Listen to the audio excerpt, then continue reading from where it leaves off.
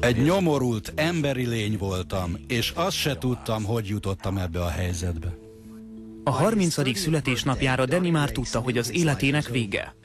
Ekkor már maga mögött tudta 20 év tönkrement kapcsolatait, elvesztett állásait és konfliktusait a törvényel, és mindez akkor kezdődött, mikor még csak 12 éves volt. Elsősorban azért ittam, hogy beilleszkedjem. Ezért kezdtem el inni. Hétvégenként az alkoholhoz, drogokhoz és a tömegbe menekültem. Habár a bulizás népszerűvé tehette, volt egy nem kívánatos mellékhatása is. Azok az emberek, akik nem isznak vagy drogoznak, felnőnek és megtanulják, hogyan kezeljék a konfliktusokat és a haragot dolgot. Mikor viszont valaki elkezd drogozni és inni, a mentális fejlődése megreked. Én ellene mentem mindannak, amire neveltek. A folyamatos ittasság és drogos állapot volt a menedékem. Rossz döntések vitték Denit az első házasságába, ami az elejétől fogva kudarcra volt ítélve. Nem tudtam, hogyan bánjak vele. Az egész csak rólam szólt. Önző voltam, emiatt ez a házasság természetesen nem működhetett. A házasság vállással végződött. Ugyanabban az évben meghalt édesanyám. Ettől teljesen kikészültem. Attól a pillanattól kezdve elkezdtem feladni az életem. Lehet, hogy Dani már feladta, viszont a családja még küzdött érte. Édesapám és a bátyám hívők voltak, és imádkoztak értem, és igyekeztek rádöbbenteni arra, hogy mi folyik az életemben. Én viszont még lázadtam. Ám a függőség szörnyetege nem elégedett meg mindaddig, amíg mindent el nem vett, amilyen csak volt. Elkezdtem keményen inni minden nap. Egyszerűen nem voltam képes józan maradni. Nem tudtam megtartóztatni magam. Denit többször letartóztatták droggal való visszaélés miatt. Csak néhány éjszakát voltam bent általában, vagy maximum ötöt. A börtön nem különösebben zavart. Mikor oda kerültem az életvitelem miatt, könnyen beilleszkedtem. Az sem változtatott semmit, amikor szabad lábon volt. Összeálltam egy hölgyel. Én és ő minden nap eljártunk inni, amíg csak bírtuk, vagy amíg el nem ájultunk. Aztán felkeltünk, és folytattuk ugyanezt. Abban az időben egy lerobbant lakókocsi, áram, víz és élelem nélkül volt az a hely, amit Deni otthonának hívott. A padlón feküdtem, felnéztem, és így imádkoztam. Istenem, hogy kerültem ide?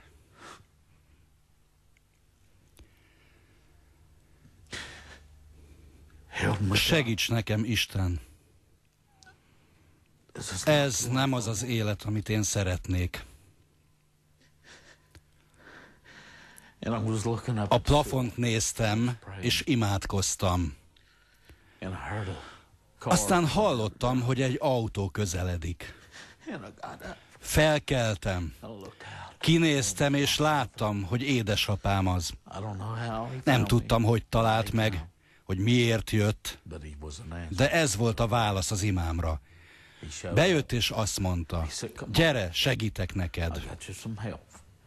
Danny édesapja elvitte őt egy 12 hónapos rehabilitációs programra, ahol nem csak megtisztult a drogtól, hanem valami mást is talált. Amikor bementem oda, az ajtó fölött jelmondat állt. Végül megmarad a remény.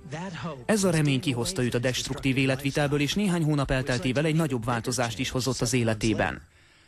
Isten tisztelet volt, és az emelvénynél álltam. Könnyek gördültek le az arcomról, és úgy éreztem, mintha egy mázsás súly, minden szégyen és bűn fölemelkedett volna rólam.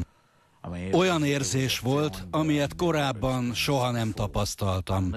Tudtam Istenről, egész életemben tanítottak róla, de akkor éreztem, és megismertem Istent. Valóban megismertem aznap. Danny már több mint nyolc éve él a drogtól szabadon. Időközben elvette sean aki szintén drogozott korábban, és most együtt munkálkodnak azon, hogy más drogfüggőket is megszabadítsanak, Krisztus ereje által. Már nem szégyenkezem amiatt, amin keresztül mentem, mert Isten azt az ő dicsőségére használja. Én ott voltam, ezeket tettem, de mint mindenki más, én is lehetek szabad. Toljuk csak félre a bűnt, a fájdalmat, és engedjük be, legalább egy kicsit engedjünk be Isten fényéből. Az megváltoztatja majd az életünket. Isten szeretetének csak egy kis darabja is elég ahhoz, hogy megváltozzon az élete. Jézus azt mondta, hogy ha valakinek akkora hite van, mint egy mustármag vagy egy icipici porszem, az elég ahhoz, hogy megváltoztassa a világot, és természetesen az életét is. Szomorú? Vagy éppen súlyos téglaként nehezedik örre a bűn súlya? Azoké a bűnöké, amelyeket évről évre elkövetett, és már teljesen beárnyékolják a személyiségét? Sok titkos bűn, amelyről senkinek nem akart beszélni, és más dolgok, amikről senki nem tud, mégis hordozza azokat. De Isten tud mindenről. Semmit nem titkolhat el előle. Ő tudja, hogy milyen dolgokat tett. Tudja, milyen bajok érték. Tudja, hogy mik történtek önnel. Ő mindent tud. Ő tényleg mindenről tud. Annak ellenére, amit tett, Isten azt mondja, hogy gyermekem, szeretlek. Annyira szeretlek, hogy ha te volnál az egyetlen ember a földön, akkor is eljöttem volna, és csak érted is meghaltam volna. Ő ennyire szereti önt.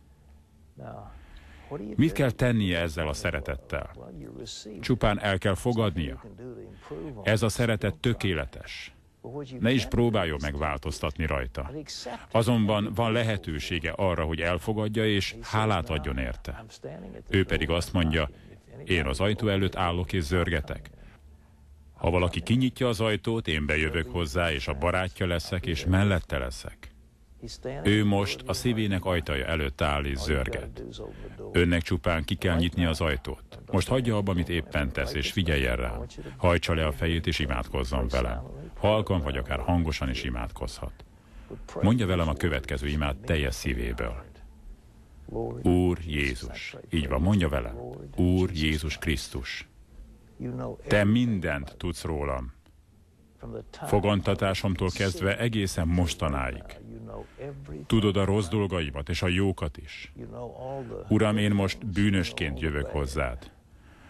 Olyan emberként, akinek szüksége van Istenre. Hozzád jövök, mert szükségem van a békességre és a megváltásra. És én tudom, hogy te meghaltál. Tudom, hogy meghaltál, értem Jézus, hogy én örökké élhessek. Ezért most megnyitom a szívem előtted, és arra kérlek, hogy költözz be a szívembe. Költözz be a szívembe, és éld az életedet bennem.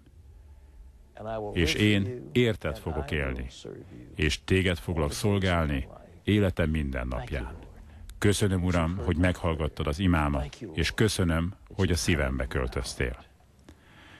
Szeretnék még imádkozni azokért, akik elmondták ezt az imát, és higgyük, hogy Isten betölti őket az ő szent szellemével. Atyám, te tudod, hogy kik mondtak igent a hívásodra.